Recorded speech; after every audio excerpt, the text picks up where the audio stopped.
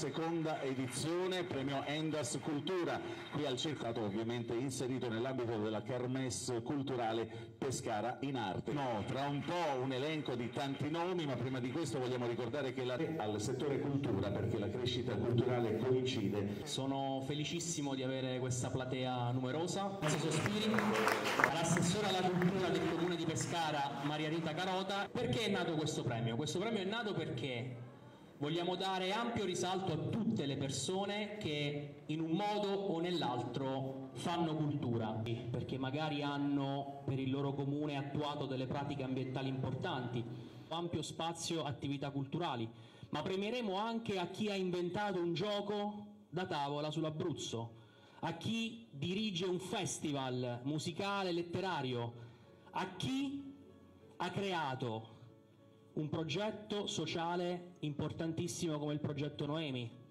ma anche l'ambasciatrice delle nevole ortonesi nel mondo. Oltre a chiaramente a attori, poeti.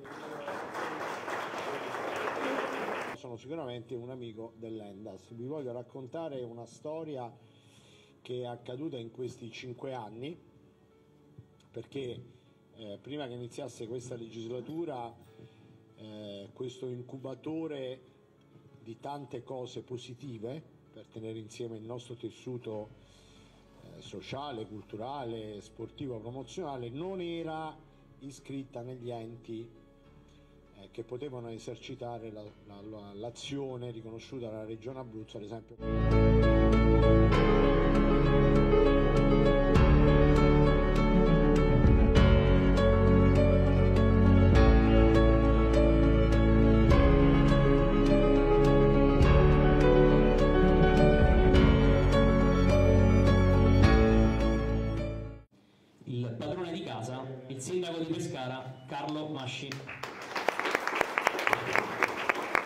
Intanto anch'io voglio fare i complimenti all'Endas e a Simone perché nell'ultima settimana sono venuto quattro volte qui per iniziative organizzate dall'Endas e ogni volta ho trovato questa sala pienissima con la gente che stava anche sulle scale, le cose che organizza l'Endes le organizza bene e queste cose interessano a tanti, perché poi quando si parla di arte e si mettono in campo tutte le sensibilità che ci sono in questa città, sicuramente si fa un'attività meritoria che serve per far crescere Pescara. Noi questa mattina in comune abbiamo premiato insieme al Presidente del Consiglio regionale la squadra di tennis del circolo tennis, i ragazzi, perché loro devono essere da esempio a tanti altri giovani nell'impegno per raggiungere un risultato, nell'inclusione sociale. Ecco, la stessa cosa penso che si possa dire per questa iniziativa e li premiate perché loro devono essere da esempio per tanti. Io ho visto un'effervescenza incredibile, anche inaspettata in questa misura. Ho visto tanta gente che mette fuori la propria sensibilità, la propria capacità, le proprie intuizioni e da creare anche quello spirito di comunità, di comunità che si cementa proprio attraverso queste iniziative culturali. Grazie per quello che fate e per come lo fate soprattutto, perché tanti si impegnano ad organizzare, ma non è mai semplice e quindi va il mio ringraziamento sempre a coloro che si impegnano per questo, perché pensa alle cose concrete. Massimo Pasqualone che ogni volta che parla mi dà qualche suggerimento per poter capire il mondo anche. L'anno soltanto di cose belle perché ci siamo stancati delle cose brutte. Mi trovo in una, in una veste un po' insolita, prima faccio un saluto. e, ehm, beh, anch'io sicuramente mh, mi sento il dovere di ringraziare l'Endas. L'Endas è un'idea eh, molto, molto particolare che avevamo come amministrazione, io l'avevo già condivisa. Volevamo portare la cultura nel luogo, nei luoghi, eh, negli stabilimenti balneari dove solitamente ci si, eh, ci si trattiene con le persone e quindi se par parliamo di cultura parliamo anche di presiedere anche quest'anno il comitato scientifico del, sono arrivati da tutta la regione fuori per quello che fanno, come diceva il sindaco, nella quotidianità. Un, un 30 secondi per pescare in arte, un format che abbiamo creato tre anni fa, inaugurato il giorno dopo è stata sancita la zona rossa, non ci siamo impauriti e tutti i pomeriggi organizziamo eventi culturali fino al 7 gennaio. Quest'anno abbiamo allestito la personale di Vanessa di Lodovico, a cui facciamo un applauso, un artista impegnato nel sociale, chiuderemo il 7 gennaio e speriamo poi che ci sia una quarta edizione. Grazie. Abbiamo Annalisa Potenza. Allora, intanto mh, grazie a tutti perché è un momento di condivisione e in effetti come è stato detto eh, cerchiamo di portare cultura, consapevolezza, questo per poter promuovere questa consapevolezza perché i giovani sono il nostro futuro. Luce Tacciare.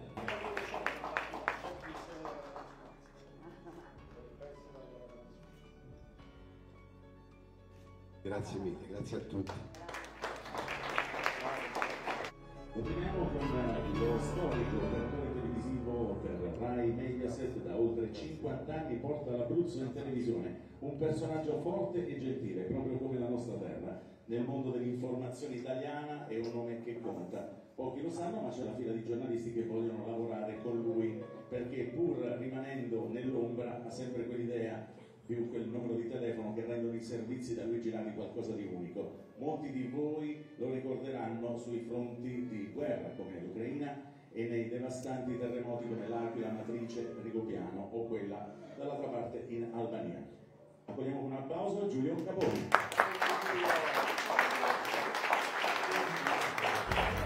Allora, vediamo il sindaco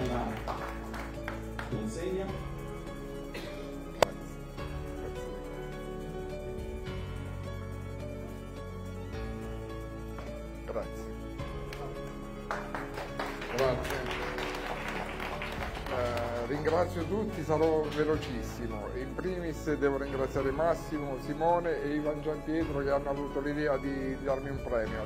Ricevere un premio è una cosa bellissima, infatti ho rinunciato ad andare a lavorare oggi per il premio, pensate voi, avevo una diretta ancora. E avevo tante cose da dire, adesso mi sono un attimo emozionato e a prescindere dal, dal ringraziare loro, eh, io sì, lavoro insieme a Matteo Veleno, questo ragazzo che è qui da, da tanti anni, e cerchiamo di portare in, al, al, livello nazionale, perché lavoriamo per il nazionale Rai e Mediaset, l'Abruzzo, Pescara, sempre bellissima in qualsiasi modo, in qualsiasi noi ci alziamo la mattina e cerchiamo le storie belle, anche se a volte eh, dobbiamo raccontare anche la cronaca nera, il, il brutto. Però eh, l'ottimismo è quello che la mattina ci spinge a raccontare, di venire a Pescara, di venire in Abruzzo, perché non è che siamo fortunati, di più. Noi viviamo in una terra bellissima, una città bellissima, e questo per dire che non vogliamo sentire le critiche, noi viviamo in un mondo che si solo critica, si critica, invece ci dobbiamo fare un applauso tutti perché, ripeto, perché la racconto tutti i giorni nei TG, nei vari servizi, viviamo in un posto bellissimo. Grazie a tutti. Grazie.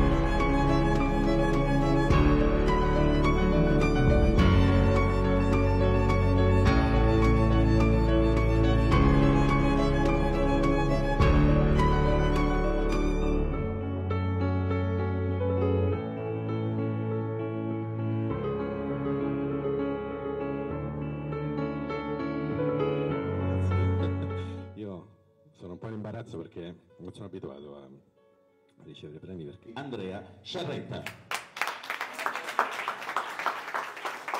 Premiato direttamente dal Presidente. Pescara ospita dal 2018 il primo ed unico reparto di terapia subintensiva pediatrica, ma non è di Noemi quel reparto, eh. dovete uscire con la consapevolezza che quel reparto è della comunità.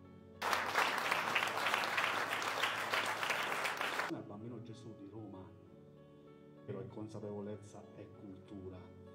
Quindi, come dico sempre, eh, il progetto Noemi non è mio, io sono il promotore perché Noemi mi ha dato questo, questo incarico, no? di non tornare a casa, eh, quindi non è che si scherza con Noemi, però raccontare il bello dell'Abruzzo, il bello dove molte volte non c'è, c'è solo sofferenza.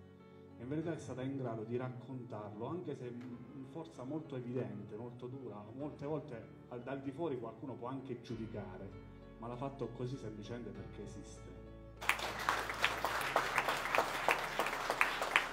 del Giro d'Italia.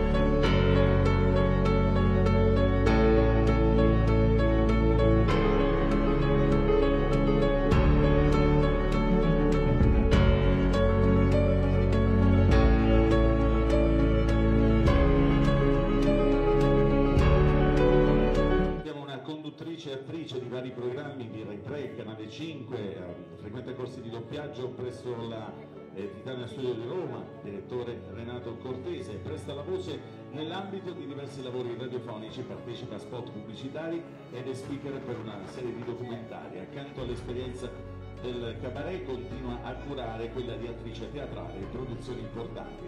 Partecipa a cortometraggi e film cinematografici. Sto parlando di Tiziana di Tono che verrà premiata dal sindaco Carlo Masci. Grazie, grazie.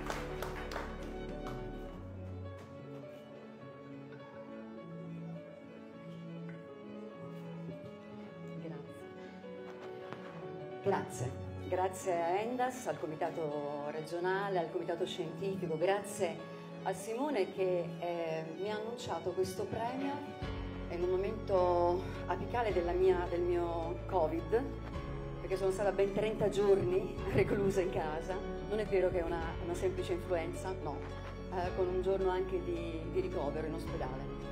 Eh, per cui è arrivata questa bella notizia e, e mi ha ridato una botta di vita, come si dice. In realtà è la- proprio la testimonianza che il premio Endas fa passare il Covid. è, una, una panacea, è la panacea di tutti i mali.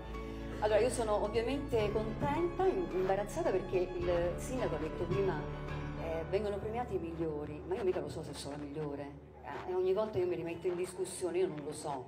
Certo è che eh, io sono un'attrice di teatro, non solo di teatro, ho sicuramente avuto il piacere questa sera di rivedere tanti amici e colleghi eh, con i quali condivido questo- questa serata meravigliosa. E dico sempre, allora, mi chiedono ma tu che lavoro fai? Eh, perché, eh, perché come se il teatro fosse una passione. Eh, e il teatro è, è un lavoro e vorrei che si comprendesse anche che il lavoro dell'attore non finisce sul palco, che comincia molto prima, poi si sale sul palco, si interpreta e, e si continua dopo il palco, perché il teatro è, è veramente è l'essenza del fenomeno del contagio, delle suggestioni e delle- del giudizio di, eh, condiviso.